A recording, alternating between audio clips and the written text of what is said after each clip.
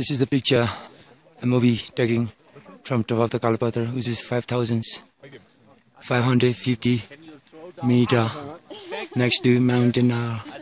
I'm going to show you Mount Everest, Everest Base Camp. So today is really brilliant weather, really clear weather, and uh, so nice view from here. Glacier, Ama Dablam, other mountains, backgrounds, nice view. हजुर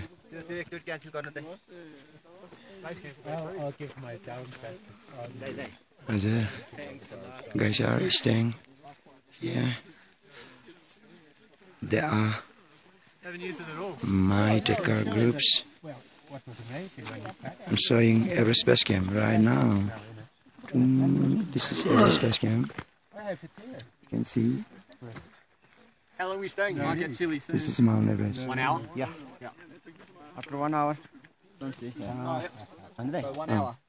One hour ago.